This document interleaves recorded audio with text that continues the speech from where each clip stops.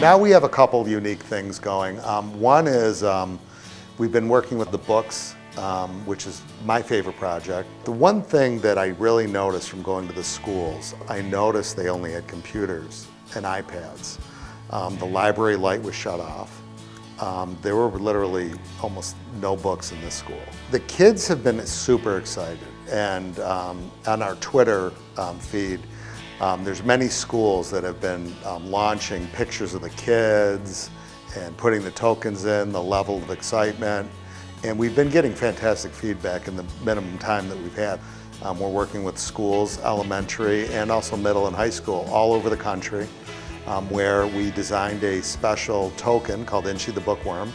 Um, the children are rewarded for good behavior, um, high grades, number of reading hours, um, and we're, we're, I'm actually flying all over the country talking to PTAs and PTOs and principals, showing them the value of um, getting kids excited about uh, reading because the literacy rate in this country is, is really slipping.